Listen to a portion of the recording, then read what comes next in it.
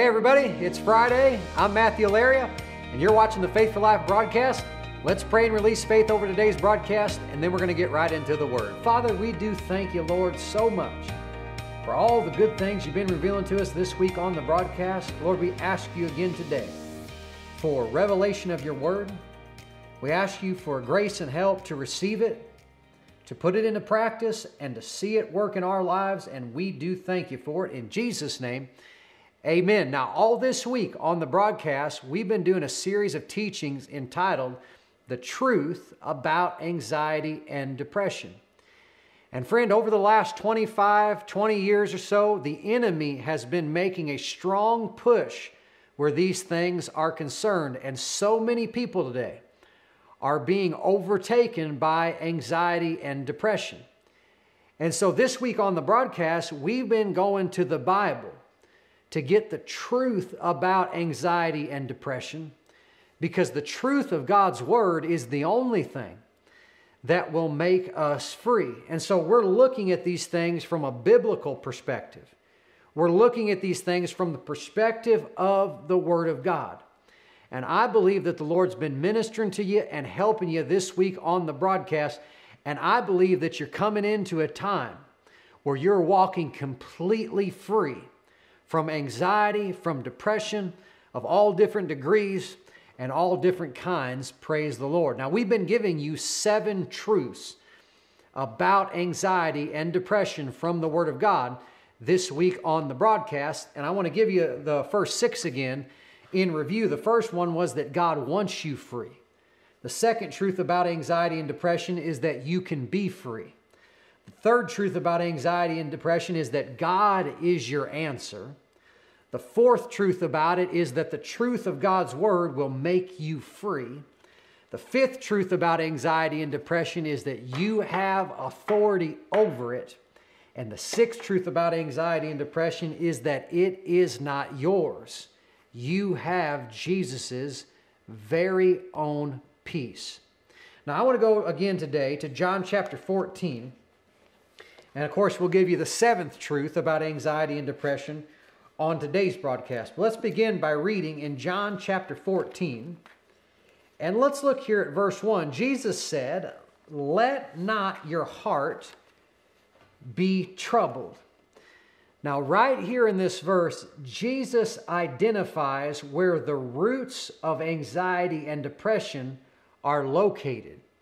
He said, Don't let your heart be troubled. Now, again, the word troubled means anxious, sorrowful, or distressed.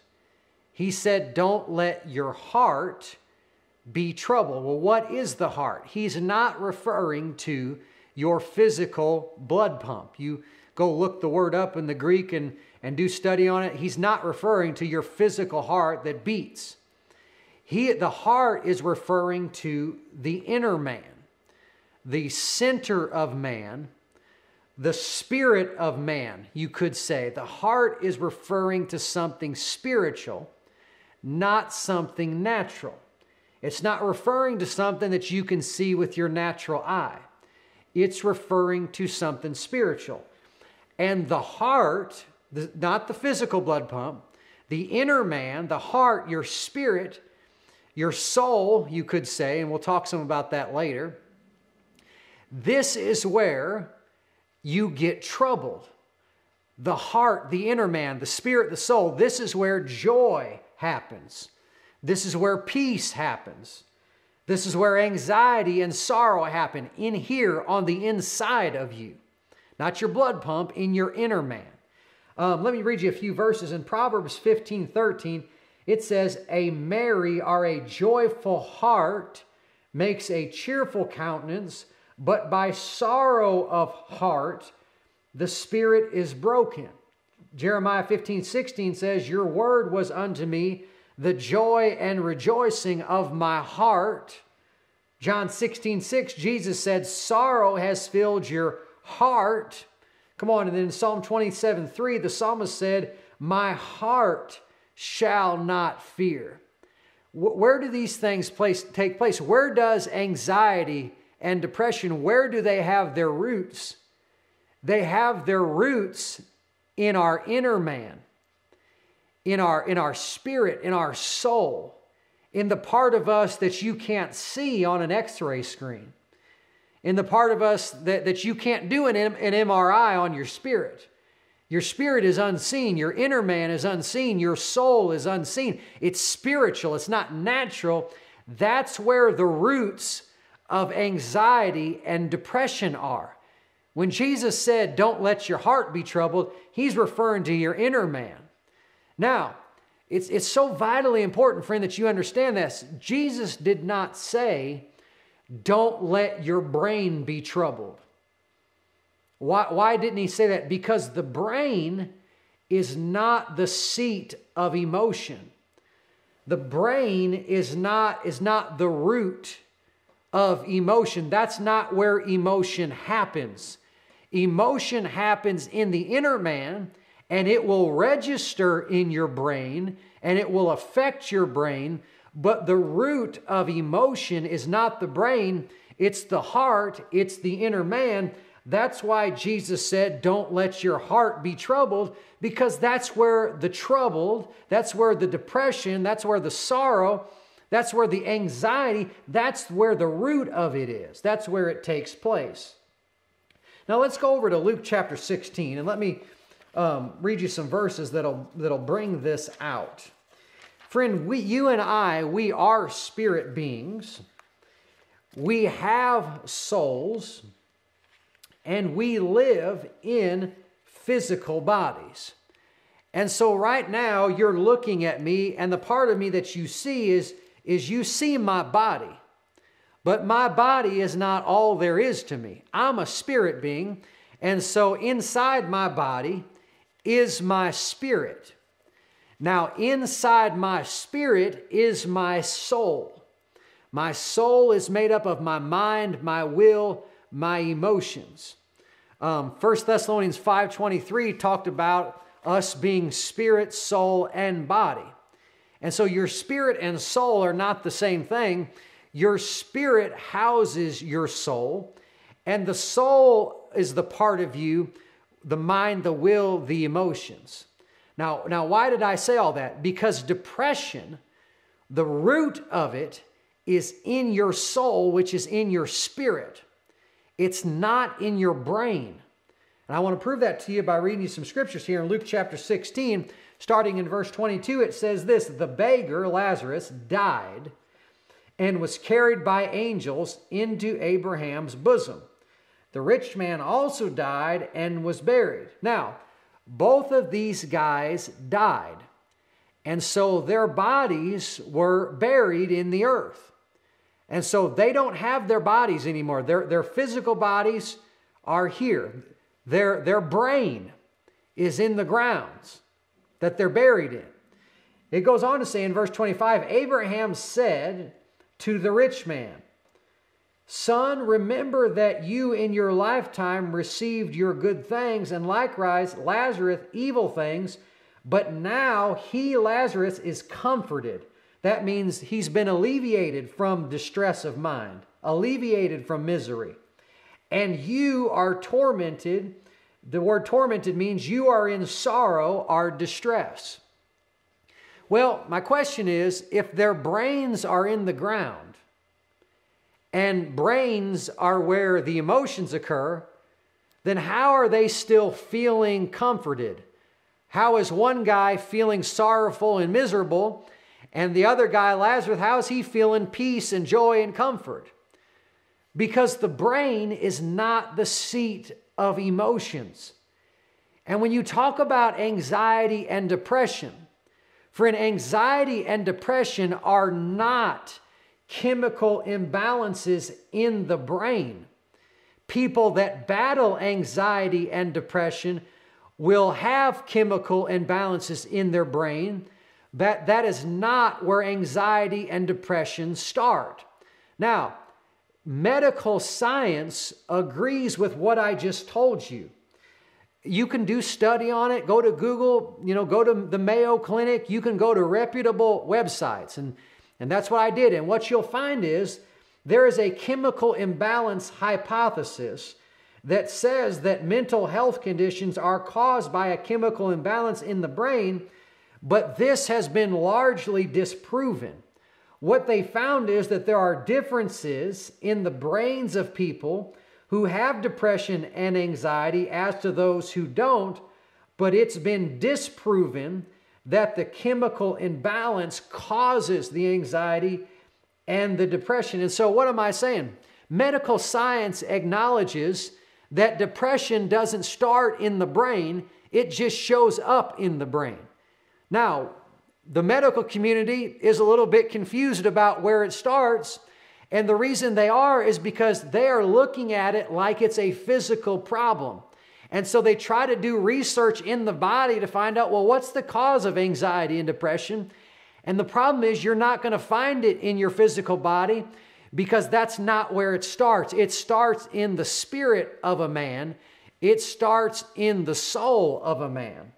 And so the emotions you have will register in the brain, but they don't start in the brain. Jesus said, Don't let your heart be troubled. Don't let your heart be afraid. And so depression and anxiety happen in the spirit of a man, they happen in the soul of a man, and they just show up in the brain. And so to address, why'd I say all that? To address anxiety and depression, we have to work in the right location, which is not the brain. The right location is the spirit of the man, the soul of a man, and we have to use the right tools. If we're going to work in the spirit and soul of man, we have to use a tool that will actually address the spirit of the man, and that tool is the Word of God. And so, again, to address anxiety and depression, we have to work in the spirit and we have to work with the Word. Why? Because that's where the depression resides. That's where the anxiety decides. That's where the roots are. They're in the spirit, they're in the soul. And this is why nothing the world offers addresses the root of anxiety and depression because all they have is natural things. And what the world will say is, well, if you exercise, that could help anxiety and depression. If you eat right, that could help anxiety and depression. If you get enough sleep, that could help anxiety and depression. And I'm not against any of that. I'm, I'm not saying that those things can't be of some assistance, but none of that addresses your spirit.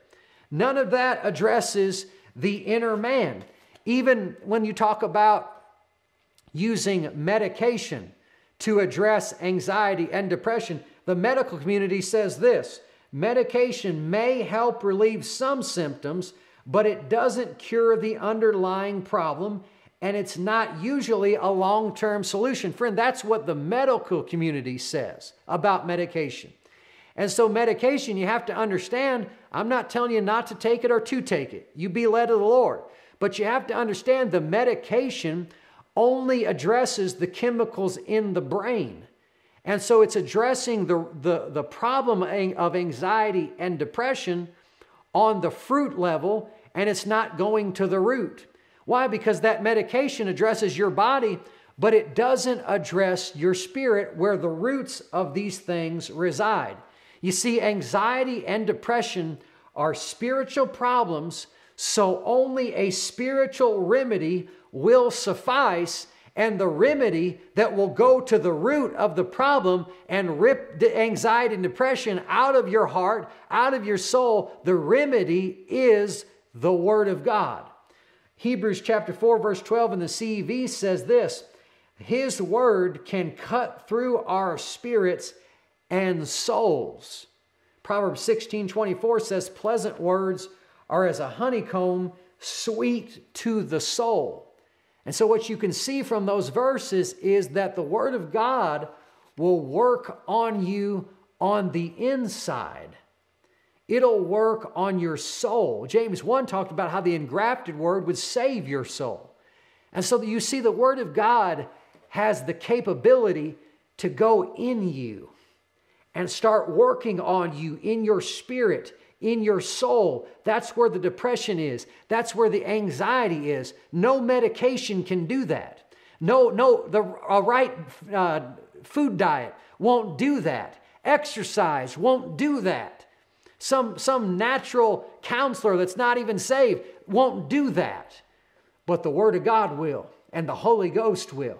Depression and anxiety are spiritual problems, and only a spiritual remedy will suffice. Only a spiritual remedy will go to the root. Only the Word of God will go to the root of it and rip it out of you. Praise the Lord. See, when we feed on the Word, Proverbs 4 talked about how God's words are life to us. Jeremiah, in Jeremiah 15, 16, he said, Lord, your words were joy. I ate them. I found them and ate them, and they were joy and rejoicing to my heart. When we feed on the word, feed on God's word, feed our spirit, it will start to go in there and heal us inside. It will be life to our inner man. It will be joy to our heart. Proverbs 16 24 said that pleasant words are sweet to the soul. And so God's word is the remedy, and feeding on his word and acting on his word. Joshua 1 8 said that if we meditate the word day and night so that we do it, we'll prosper in everything that we do. And so acting on the word will cause you to prosper on the inside. It'll cause you to get healed on the inside and get, get whole on the inside so that you walk free from um, depression and you walk free from anxiety. You know, the Word also gives us instruction about what to do with uh, cares, or you could say anxious thoughts that come to us. It tells us to cast all of our care over on the Lord. Well, see, when we act on that word, that'll have a lot to do with whether or not we walk free from anxiety and depression. And we have to cast our cares on the Lord. Uh, Philippians chapter 4, verses 8. Verse 8 tells us to fix our mind on certain things. And then in Romans chapter 8, it teaches us that what we think about will have everything to do with the peace that we walk in and the joy that we walk in.